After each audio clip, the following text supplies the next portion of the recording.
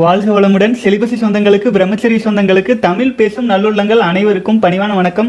அன்பான சகோதரர்களே இன்னைக்கு பிரம்மச்சரியத்தில் வந்து பதினான்காவது நாள் பதினெட்டு நாள் சேலஞ்சில் வேக வேக வேகமாக பதினாலாவது நாள் வந்துட்டோமுங்க. இன்னும் நான்கு நாட்கள் தான் இருக்குது சகோதரர்களே. பல சகோதரர்கள் வந்து மன உறுதியோட பிரம்மச்சரியத்தில் கடந்து வந்துட்டு இருக்கீங்க. நிறைய டேஸ் ஆல்மோஸ்ட்டு ஹண்ட்ரட் டேஸ்க்கு மேலே தௌசண்ட் டேஸ்க்கு மேலேயும் கூட சகோதரர்கள் வந்துட்டு இருக்கீங்க ரொம்ப சந்தோஷமா இருக்கு. அப்புறம் இன்னும் சிலர் வந்து பார்த்தீங்கன்னா கமெண்ட்ஸில் பார்த்தா அண்ணா ஒரு வாரத்துக்கு மேலே வந்து வெளியில் தானாக போயிருமாமண்ணா யாரோ எதிர்த்துலையோ சொல்லியிருக்காங்க. அப்படின்லாம் சொல்கிறாங்க ஏனுங்க நம்ம வீடியோ பார்க்குறீங்களே பார்க்கறதுக்கு முன்னாடி எவ்வளோ பேர் பிரம்மச்சரியத்தில் ஐம்பது நாள் நூறு நாள் கடந்து வந்துட்டு இருக்காங்க அதெல்லாம் கொஞ்சம் பாருங்க. ஆச்சுங்களா? இவ்வளோ பேர்னால முடியறது உங்களால் முடியாதா? ஸோ நம்முடைய பாரத கலாச்சாரத்தில் நம்முடைய சித்தர்களும் முன்னோர்களும் வந்து பன்னிரெண்டு வருடம் கல்வி முறையிலேயே பிரம்மச்சரியத்தில் ஒழுக்கத்தை போதிச்சு ஒழுக்கமாக வளர்த்துனாங்க குழந்தைகளை. ஆச்சுங்களா? இப்போ என்ன போச்சு நிலைமை? அஞ்சு நாளில் போயிடும் எட்டு நாளில் போயிடும் இப்படி நம்மை ஒரு போதை பழக்கத்துக்கு பதிமூணு வயசுல இருந்தே அடிமைப்படுத்தி வளர்த்துனா இளைஞர்களுக்கு எங்கே வலிமை இருக்கும்? வலிமை எங்கிருந்து நம்ம கொண்டு வர முடியும்? வாழ்க வளமுடன். மன உறுதியோடு ஒரு நாற்பத்தி எட்டு நாள் கடக்கிற வரைக்கும் பார்த்தீங்க அப்படின்னா ரொம்ப கஷ்டமாக இருக்கும் கஷ்டமாக தான் இருக்கும். கஷ் ஒரு சிலருக்கு அது எளிமை. இது ஒன்றுமே செய்யாமல் இருக்கிறது ஏதாவது செய்யறோமா? ஒன்றும் செய்யாமல் இருக்கணும். பிரம்மச்சரியத்தில் இருக்கணும் ஒழுக்கமாக இருக்கணும் தவறான விஷயங்களை பார்க்காம இருக்கணும். நம்ம வாழ்க்கைக்கு நமக்காக ஒரு பதினே ஒரு நாற்பத்தி எட்டு நாள் கடந்து வரணும். அப்புறம் இயல்பாகவே நமக்கு வந்து அதனுடைய எப்படி நான் பாக்கெட்டில் ஒன்றுமே இல்லாமல் சுற்றிட்டு இருந்துட்டு திடீர்னு ஒரு ஒரு பத்தாயிரம் ரூபா நோட்டு பத்தாயிரம் ரூபா பாக்கெட்டில் இருந்தா இளைஞர்களுக்கு எப்படி சொல்றது, ஒரு மனசுக்கு ஒரு திருப்தியாக இருக்கு இல்லைங்களா? அந்த மாதிரி இருக்கும். ஒரு நாற்பத்தெட்டு நாள் கடந்துட்டீங்கன்னா நான் தனி மனிதன் அல்ல அப்படிங்கிற உறுதி கிடைக்க ஆரம்பிச்சிடும் ஆச்சுங்களா? மன உறுதி குறையாது. சகோதரர்கள் பிரம்மச்சரியத்தில் இந்த பதினெட்டு நாட்கள் அப்படிங்கிறது உண்மையில் எதுவுமே கிடையாது. ஆனால் ஒரு நல்ல துவக்கம் இருக்கணும்னு தான் பதினெட்டு நாள் சேலஞ்ச் போட்டிருக்கிறோம். சகோதரர்களை உறுதியாக எடுத்துகிட்டு போகலாம் மேலும் பல சகோதரர்கள் இன்றைக்கும் நிறைய கேள்வி கேட்டிருக்காங்க. வேக வேகமாக பார்த்துடலாங்க. நம்ம ஆதி தமிழன் சகோதரர் கேட்டிருக்காரு. தொப்பை ஏன் வருகிறது? அதை குறைப்பது எப்படி? அதை ஏன் குறைக்கணும்னு நினைக்கிறீங்க நான் ஒரு விஷயம் கவனிக்கிறேன். தொப்பை இருந்தால் தப்பு. உடம்பு அதெல்லாம் வந்து ஏன் அப்படி நினைக்கிறாங்கன்னு தெரியல. உண்மையிலேயே நம்முடைய பாரத தேசத்தில் ஒட்டுமொத்த உலகத்திலேயே மிகப்பெரிய கோடீஸ்வரர் யாருங்க? யாரு? நல்லா யோசிச்சு பாருங்க. குபேரனை சொல்லுவோம் நம்ம நாட்டில். அவர் அவருக்குன்னு தனி ஒரு உலகத்தையே திரு- சிருஷ்டிச்சு வச்சு குபேர குபேரன் வந்து பார்த்தீங்கன்னா நம்முடைய திருப்பதி வெங்கடாச்சலபதிக்கே கடன் கொடுத்து திருமணத்துக்காக கடன் கொடுத்து அவர் இன்னைக்கு வரைக்கும் பார்த்தீங்கன்னா வருஷம் டெய்லி கோடிக்கணக்கில் வசூலானாலும் குபேரனுக்கு வட்டி கட்டுறதுக்கு தான் அந்த பணம் வருது அப்படிங்கிற மாதிரி கதைகள் நம்ம முன்னோர்கள் சொல்லியிருப்பாங்க. அப்போ நான் ஏன் திடீர்னு குபேரனை சொன்னேன் அப்படின்னா குபேரன் வயிறு பார்த்துருப்பீங்களா? அப்படி இருக்கும். ஆச்சுங்களா? ஏன்? அதாவது நம்ம வயிற்றுல சதை போடுறதுக்கு முக்கிய காரணம் என்னன்னா நம்ம சாப்பிட்ற உணவு ஆற்றலாக வந்து எக்ஸஸ் ஆகுது இல்லைங்களா? எக்ஸஸ் ஆகுறது வந்து கழிவா போயிடுறது இல்லை நம்முடைய உடல் முன்னெச்சரிக்கையா ஒருவேளை பஞ்சகாலம் வந்துட்டா என்ன பண்றது? அப்படின்ட்டு நம் உடலில் வயிற்று சதைகளில் கொழுப்புகளா சேமிச்சு வைக்குது. புரிஞ்சுதுங்களா? அதுதான் கொஞ்சம் தொப்பை இருக்கிறது கொஞ்சம் தொப்பை இருக்கிறது ஓரளவுக்கு இருக்கிறது. அதெல்லாம் பெருசாக எடுத்துக்கொள்ள வேண்டியதில்லை. சைடில் கொஞ்சம் இதாக இருக்கிறது. ஏன்னா எப்படி நீங்கள் சரி பண்ணலான்னா கொஞ்சம் வாட்டர் ஃபாஸ்டிங் இருந்து கொஞ்சம் உடற்பயிற்சிகள் செஞ்சீங்கனாலே நார்மல் ஆயிடும் அது நமக்கு வந்து ஒரு நன்மையாகத்தான் அது இருக்குது முன்ன காலத்துலலாங்க ஒரு ஒரு ஆறு மாத காலம் பார்த்தீங்கன்னா உணவுக்கு பஞ்சமே இருக்காது. நல்லா இருக்கும். அப்புறம் மறுபடியும் ஒரு ஆறு மாத காலம் பார்த்தீங்கன்னா பஞ்சம். உணவே சிக்காது. அப்போது இருக்கும்போது நல்லா திருப்தியாக சாப்பிட்டு இல்லாதப்போ வாட்டர் ஃபாஸ்டிங் தான் அப்போது தண்ணி தான் குடிக்க முடியும். அப்போது அவங்களுக்கு வந்து பார்த்தீங்கன்னா சதையெல்லாம் வயிற்று வயிறெல்லாம் ஒட்டி உள்ளே போய் நார்மலாகிடும் அந்த மாதிரியான காலகட்டங்களில் இ- தாண்டி வந்திருக்கு இந்த மனித உடல். அதனால கொஞ்சம் வந்து உணவு வச்சா போனால் அந்த சதைகள்லாம் அங்கங்கே இருக்குது அதை நம்ம பெருசாக எடுத்துக்க வேண்டியதில்லை. ஆனால் உடலுக்கு வந்து ஒரு பாதிப்பு வருது. சீரண செரிமான பிரச்சனைகள் வருது. இந்த மாதிரி எல்லாம் உடலுக்கு சைடு எஃபெக்ட்ஸ் அதனால வருதுன்னு நீங்கள் ஃபீல் பண்ணீங்கன்னா தாராளமாக வந்து ஒரு வாட்டர் ஃபாஸ்டிங்கு இன்டர்மீடியட் ஃபாஸ்டிங்கு பழங்கள் மட்டும் சாப்பிட்றது இது போல் உணவுகளை குறைச்சிங்கன்னா அப்புறம் ஆட்டோமேட்டிக்காகவே வந்து பார்த்தீங்கன்னா இந்த சதைகள்லாம் கரையிறக்க ஆரம்பிச்சிடும் வாழ்க வளமுடன். அடுத்தது வந்து டெல்லி பாபு. அப்படிங்கிற சகோதரர் வந்து கேட்டிருக்காரு. ப்ரோ ப்ரூஸ்லி ரொம்ப பவர்டாக இருந்தார். அவருக்கு நோ ஃபேப் செலிபஸி தான் காரணமா. வாழ்க வளமுடைய எனக்கு தெரிஞ்சு ப்ரூஸ்லிக்கு வாரிசுகள் இருக்கிறத கேள்விப்படல. அவ எந்த ஒரு மனிதனுக்குமே ஆற்றல் அதிகமாக இருக்குது பவர் அதிகமாக இருக்குது எனர்ஜி அதிகமாக இருக்குன்னா அதுக்கு என்னங்க காரணமாக இருக்கும்? தன பிரம்மச்சரியம் தான் காரணமாக இருக்கும். நம்முடைய உடலில் இருக்கும் உயிரணுக்கள் குழந்தை பிறப்புக்காக வீணாக்காது நமக்குள்ளாக காத்து கொண்டு அந்த ஆற்றலை மறு வேறு ஆற்றலாக டிரான்ஸ்மியூட்டேஷன் செஞ்சு அந்த எந்த துறையில் அதை டிரான்ஸ்மியூட்டேஷன் செய்கிறோமோ அதில் வெற்றி அடையிறது. அதுதான் செக்ஷுவல் டிரான்ஸ்மியூட்டேஷன் அப்படின்ட்டு. நாம் சொன்னால் நம்புறீங்களே இல்லையோ நெப்போலியன் ஹில் போன்ற இந்த நம்ம வெள்ளக்காரர்கள்லாம் புக் எழுதி வச்சுருப்பாங்க. ஆச்சுங்களா? அது அது அந்த போ- அது போல் அவர்கள் கூட ஆராய்ச்சி பண்ணி சொல் சொன்னதுதான். இந்த ஆற்றலை காமத்திற்காக வரும் ஆற்றலை மடைமாற்றம் செஞ்சு உங்கள் வாழ்வில் வெற்றியடைய முடியும் அப்படின்ட்டு சொல்லியிருப்பாங்க. அதை ஆன்மீக ஆற்றலாக மாற்றலாம்னு நிறைய எழுதியிருக்காங்க. ஆச்சுங்களா? நம்ம முன்னோர்கள் மட்டும் சொல்லலை. ஈவன் கிறிஸ்துவ சமயத்துலலாம் பார்த்தீங்கன்னா பாஸ்டர்ஸ் பாதிரியார்கள்லாம் செலிபஸி தான் பேஸ் ஆச்சுங்களா அது இல்லாதவங்களாம் பாதிரியாரு கிடையாது. ஆச்சுங்களா அது போல தான் சன்னியாசின்ட்டு போகிறாங்க இல்லைங்களா? அவங்களுக்கெல்லாம் பிரம்மச்சரியம் தான் பேஸ் அது இல்லைன்னா எல்லா மதங்களுக்கும் எல்லா ஆன்மீக விஷயங்களுக்கும் அடிப்படைங்கிறது பிரம்மச்சரியம் தான். எந்த ஒரு ஆற்றல் இந்த மனித உடலில் இருந்து வருது அப்படின்னாலும் சித்துக்கள் சித்தர்களின் சித்து எல்லாம் சொல்கிறாங்க இல்லைங்களா? எல்லாத்துக்கும் அடிப்படை நம்முடைய உயிரணுக்களை எப்படி டிரான்ஸ்மிட்டேஷன் பண்ணுறோம் அப்படிங்கிறத பொறுத்தா அது எப்படி நான் வந்து நேற்று ஒரு முறை சொன்ன மாதிரி தான் எப்படி அவங்களுக்கு அவ்வளோ ஆற்றல் வருது எனக்கே வரல அப்படின்னீங்கன்னா அவர் பல வருஷம் பிரம்மச்சரியத்தில் இருந்திருப்பாரு. நீங்கள் பத்து நாள் கூட காப்பாற்ற முடியாமல் இப்போ எல்கேஜி ஸ்டூடெண்ட் போய் பிஹெச்டி புக் எடுத்து பார்த்தா என்ன தெரியும்? அவங்களுக்கு அது பாசிபிளாக இருக்கிற விஷயம் நமக்கு அது மலைப்பாக இருக்கும். ஏன்னா நமக்கு இன்னும் அந்த தகுதியை அடையலை. அந்த அளவுக்கான ஆற்றலை சேமிக்கலை. ஆகவே நம்ம பிரம்மச்சரியத்தில் ஸ்ட்ராங்காக போக போக போக அது நமக்கு ஒரு ஸ்டேஜ் வரையில் அந்த விஷயங்கள்லாம் சாதாரணமாக போகும். நம்ம எதில் டிரான்ஸ்மியூட்டேஷன் பண்ணுறோம் எதுக்கு நம்ம முக்கியத்துவம் கொடுக்குறோமோ அதுக்கு நம்முடைய ஆற்றல் வந்து மடைமாற்றம் செஞ்சு போக ஆரம்பிச்சிடும் வாழ்க வளமுடன் சகோதரரே. அடுத்தது வந்து பார்த்தீங்கன்னா ஆனால் நெக்ஸ்ட் பத்து வருஷத்தில் என்னதான் நடக்க போகுது? ப்ளீஸ் ரிவீல் பண்ணுங்க அப்படின்னு இருக்கிறீங்க அதை சொன்னவாச்சு பயந்து ஒழுங்காக ஒழுக்கமாக இருக்க வாய்ப்பாக இருக்கும். புதிய உலகமாக கொஞ்சம் புரியும்படி சொல்லுங்கள் உங்கள் பேச்சை கேட்டால் இன்ட்ரெஸ்டிங்காக இருக்குன்னுலாம் போட்டிருக்கிறீங்க. வாழ்க வளமுடன். இதுக்கு சொல்கிறேனுங்க இந்த வீடியோலையே. ஆனால் என்ன சொன்னாலும் பலர் திருந்துவதில்லை. அது திரு பொன்னரசன் சகோதரர் போட்டிருக்காரு. அது திருவள்ளுவர் சொன்ன மாதிரி அவர்கள் ஊழ் விதி சொல்வது அன்பு செலுத்துவது நம் கடமை. ஒழுக்கம் அடக்கம் ஊக்கம் இறைநிலை உணர்ந்தவர்கள் பயனடைவார்கள். இல்லாதவர்கள் வருந்துவார்கள். உயிர் இறைவனை பற்ற வேண்டும். இல்லையெனில் ஆணவத்தை பற்றிவிடும். உண்மைதானுங்க. அதாவது நம்ம எப் எங்கிருந்து வந்தோமோ அந்த நம்முடைய மூலத்தை நம்ம உணர்ந்து அதை கேப்சர் பண்ணாதான் பற்று பற்றற்றான் பற்றினே இல்லைன்னு வைங்களேன் நம்ம யார் மேலே எ எதுவுலையுமே பற்றில்லாத ஒரு பட் இருக்குன்னா அது சிவன் நிலை தான் எதுவும் மற்ற எல்லாம் இல்லை இறையாற்றல் தான். இறைவன் தான் பற்றற்றவன். அவனை நம்ம பற்றுனா தான் நம்ம வந்து தெளிஞ்சு நம் வினைகள் கரையும். அது இல்லாமல் பார்க்குற விஷயங்களுக்கெல்லாம் ஆர்வப்பட்டு ஆசைப்பட்டு குழந்தை எப்படி? பொம்மை. அந்த பொம்மை அடிச்சிட்டு கிடைக்கிற வரைக்கும் தான் அது மேலே ஆர்வம். அப்புறம் அடுத்து அப்புறம் அடுத்து அப்புறம் அடுத்துன்ட்டு பிரம்மச்சரியத்தில் இருக்கிறவங்களே ஆன்மீக வழியை தேர்ந்தெடுக்காது குருட்டு வாக்கில் போனாங்கன்னு வைங்களேன். ஒரு சிலர் வந்து தன்னுடைய இனப்பெருக்க பாகத்தை சரி பண்ணுறதுக்காகவே பிரம்மச்சரியத்தில் இருக்கிறேன்னு நினைக்கிறாங்க. அப்படி அல்ல. இது வந்து நம் பிறப்பின் நோக்கத்தையே உணர்வதற்கான ஒரு மிக மிக நெடிய பயணம். ஆச்சுங்களா? அப்போ நம்முடைய இப்போ நம்முடைய தேவைகளை சின்ன விஷயத்தில் சுருக்கிக்க வேண்டியதில்லை. நம்ம பிறப்பின் நோக்கத்தையே நம்மால் அடைய முடியும். பிரம்மச்சரியத்தில் நாட்கள் செல்ல செல்ல செல்ல சின்ன சின்ன விஷயத்தில் சிக்கிக்காமல் போகும்போதுங்க நம்ம வாழ்க்கையே வந்து ஒரு பிறப்பின் நோக்கம் ஏன் பிறந்தோம் அப்படிங்கிறதுக்கு ஒரு தெளிவு கிடைக்க ஆரம்பிச்சிடும் வாழ்க வளமுடன் சகோதரன் அடுத்தது வந்து பார்த்தீங்கன்னா நம்ம தருண் ஆறுமுகம் சகோதரர். நீண்ட நாள் பிரம்மச்சரியத்தை கடந்து வந்திருக்கிறாரு. ஒரு வருஷத்துக்கு மேல அவர் நமக்கு ஒரு கமெண்ட்ஸ் போட்டிருக்காரு. அது என்னன்னு படிச்சிடுறேனுங்க. ப்ரோ ஒன் இயர் கடந்துட்டேன் செலிபஸியில் இந்த ஒரு வருஷத்தில் எனக்கு கோல்டு ஃபீவர் எதுவுமே வரல. டயர்ட் ஆகல. ஜிம்மில் நல்லா ஒர்க் அவுட் பண்ண முடிஞ்சிச்சு. நல்ல உடல் பலமாக இருக்குது அண்ணா என்ன இந்த இந்த ஒன் இயரில் கொஞ்சம் பயிற்சிகள் செய்ய தவறிட்டேன். திரும்ப செய்ய ஆரம்பிச்சிருவேன். நான் நயன் இயர்ஸாக ஒன்பது வருடமாக சுய இன்பம் பண்ணிட்டு இருந்தேன்.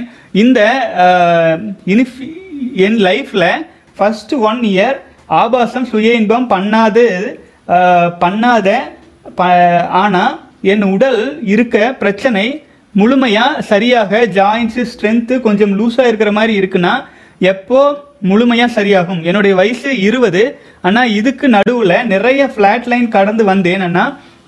பிரம் பிரபஞ்ச சக்தியால் நான் வேண்டியது எனக்கு கிடைச்சதா கிடைச்சதா இங்கே பாட்டி எண்பத்தி ஒரு இயர்ஸ் கொரோனா பாசிட்டிவ் வந்துச்சு. ஓட்டு கம்மின்னு நாற்பதுக்கு வந்துச்சு. டூ டே தான் இருப்பாங்கன்னு சொல்லிட்டாங்க டாக்டர்ஸு ஆனால் நான் வேண்டின பாபாஜி அவங்க கூடயே இருந்து ரெண்டு நாளில் அவங்கள க்யூர் பண்ணி நார்மல் ஆக்கிட்டாங்க. இப்போ அவங்க நல்லா இருக்காங்க. இது மாதிரி நிறைய விஷயம் நம்ம வேண்டாம் நம்ம வேண்டாம் நடக்குது. ஆனால் ஆண்டவன் நமக்கு கொடுத்த சக்தியை நல்ல விஷயத்துக்கு மட்டும் பயன்படுத்தணும். படுத்துவேன்னான் இருக்கீங்க. வாழ்க வளமுடன். ரொம்ப சந்தோஷம். நீங்கள் கொஞ்சம் தங்கிலீஷ் எழுதுனதுனால கொஞ்சம் தங்கு ஸ்லிப் ஆகுது.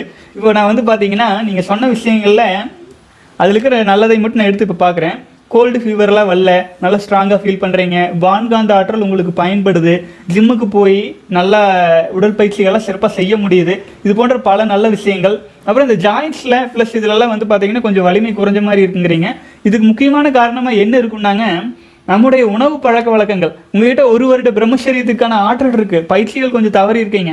விந்துஜயன் பயிற்சியை ஆழ்ந்து செஞ்சுட்டு அப்புறம் உங்களுடைய ஆற்றலை உங்களுடைய பிரம்மச்சரிய ஆற்றலை வந்து பார்த்தீங்கன்னா முறைப்படி அபரிமிதமான ஆற்றலை நீங்கள் வச்சிருக்கும் போது அதை டிரான்ஸ்மியூட்டேஷன் நீங்கள் பண்ணிட்டு இருக்கீங்க. அந்த சமயத்தில் உணவு முறைகள் வந்து கொஞ்சம் அதிகமாக எடுத்துக்கிட்டீங்கன்னா உங்களுக்கு வந்து பார்த்தீங்கன்னா செரிமானத்தில் கொஞ்சம் பிரச்சனைகள் வரும். செரிமான பிரச்சனைகள் ஏன் வருதுன்னா உடல் ஆற்றல் அதிகமாக இருக்கும்போது நம்ம அதிகமாக திணிக்கக்கூடாது இல்லைங்களா? அது போல் அவ்வாறு நம்ம சாப்பிடும்போது செரிமானத்தில் சில சில பிரச்சனைகள் இருக்கும்போது ஜாயிண்ட்லலாம் கொஞ்சம் குழப்பங்கள் இருக்கும். ஆச்சுங்களா?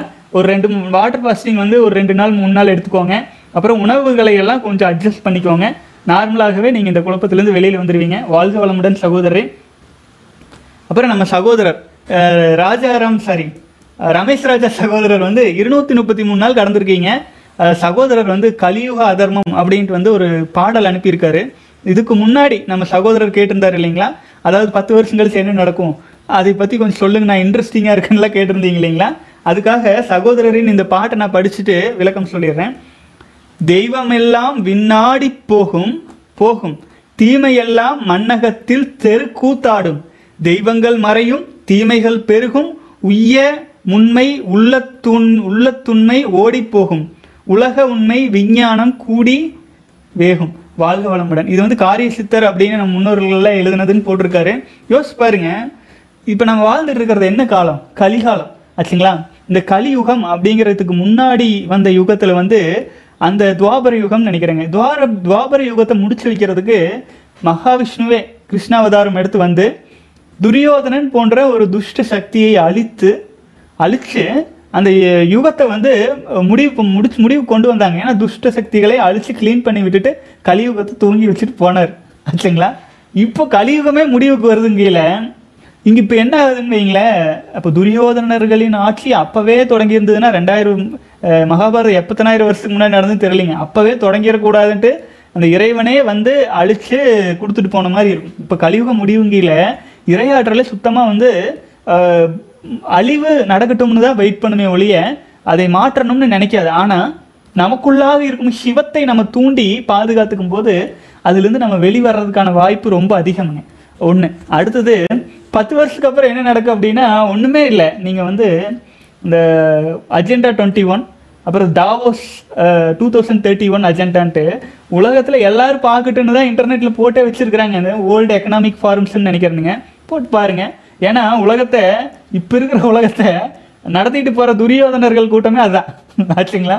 அவ அதுதான் இப்போ நடந்துட்டு இருக்குது நீ அதுதான் நடக்க போகுது. பல்வேறு மாற்றங்கள் வரப்போகுது. உலக மக்கள் தொகையை குறைக்கிறதுக்கான செயல்பாடு நடந்துகிட்டே இருக்கு. இப்போ வந்துட்டு இருக்கிற இந்த கொரோனா மட்டுமல்ல இன்னும் பல பிரச்சனைகள் அவங்கள ரெடியாக வச்சுருக்கிறாங்க. ஏன்னா மக்கள் தொகை குறைக்கணும்ட்டு. ஸோ இதெல்லாம் நடந்து முடியுதுன்னு வைங்களேன்.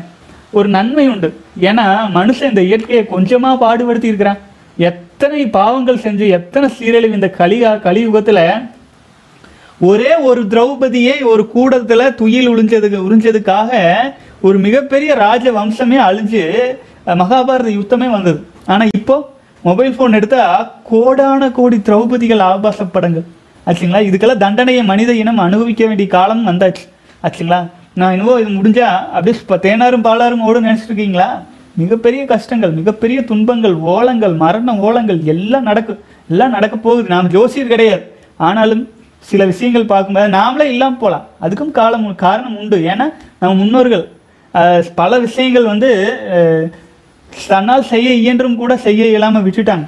அது மிக முக்கியமான இன்னொரு விஷயம் என்னன்னு கேட்டிங்கன்னா பீஷ்மர் வந்து எப்போ வந்து அந்த நம்ம திரௌபதி இது போன்ற ஒரு சூழல் துய அத்தனை பேருக்கு முன்னாடி சிலை உரியும் போது வேடிக்கை பார்த்தாரோ துரோணர் அத்தனை சக்தியும் இருந்து வேடிக்கை பார்த்தாரோ அதுபோல் நம்முடைய முன்னோர்கள் அந்நிய சக்திகளை எல்லாம் நம்ம நாட்டுக்குள்ளே ஊடுருவ விட்டுட்டாங்க. ஒன்று ரெண்டாவது உலகத்தையே நம்ம பாரத தேசம் கட்டுப்பாட்டில் வச்சிருந்த காலம் ஒரு இரண்டு மூணாயிரம் வருடங்கள் வச்சிருந்தது. இந்த கலிகாலத்தில் பல ஆயிரம் வருடங்கள் வந்து நம்ம நாட்டை சென்டராக வச்சு தான் உலகமே இயங்கிட்டு இருந்தது. உலக பொருளாதாரமே நம்ம நாடு தான் நம்ம நாடு தான் பேஸாக இருந்தது. ஆனால் இப்போது நம்ம நாடு கிடையாது.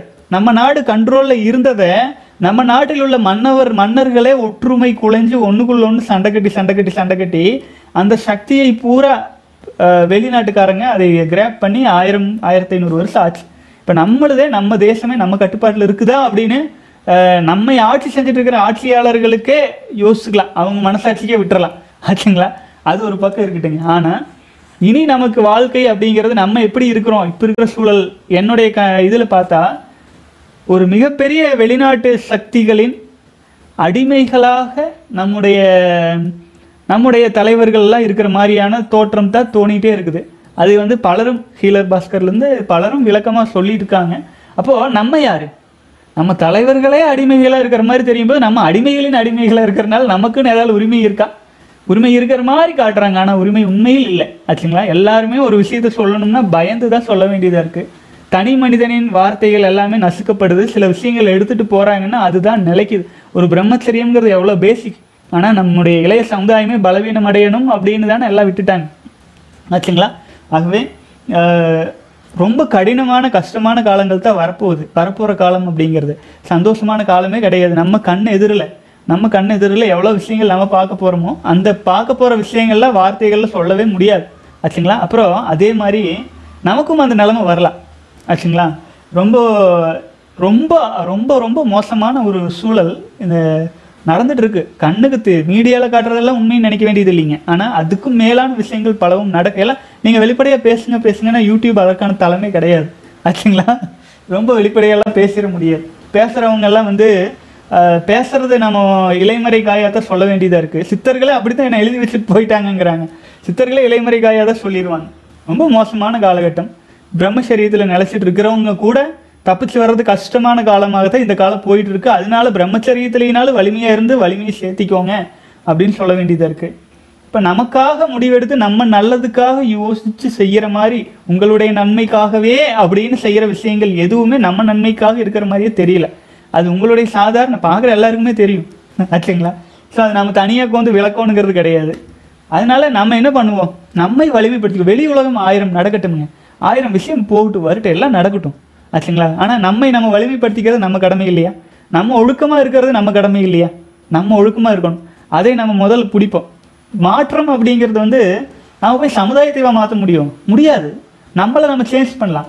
நமக்குள்ளாக இருந்து ஒரு தனி மனிதன் ஒழுக்கம் அடைஞ்சு ஸ்ட்ராங்கான வலிமை அடைஞ்சா ஒரு நாளைக்கு எவ்வளவு நேரம் கிடைக்குதோ உடற்பயிற்சி செய்யுங்க.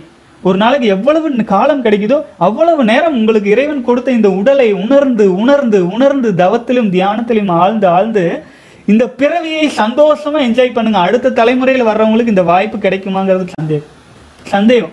ஆச்சுங்களா? கல்வி முறையிலேருந்து எல்லாமே எல்லாமே மாயை அரசாங்கங்கள் முதல் கொண்டு எல்லாமே மாயை அப்படின்னு முன்னோர்கள் சொன்னது நிஜத்துலேயும் நம்ம பார்க்குறோம். இந்த காலகட்டத்தில் வாழ்கிறவங்க நம்ம பார்க்க போகிறோம் ஆச்சுங்களா? பார்த்துட்டு தான் இருக்கிறோம். பார்க்கவும் போகிறோம் அப்போ மனுஷனுக்கு என்னென்னா மறதி அதிகம். பல விஷயங்களை பார்த்துட்டு விட்டுருவோம். போகிற போக்கில் போயிட்டு இருக்குதுன்ட்டு ஸோ அதனால் நம்ம வந்து வெளி உலகத்தை மாற்றணும்.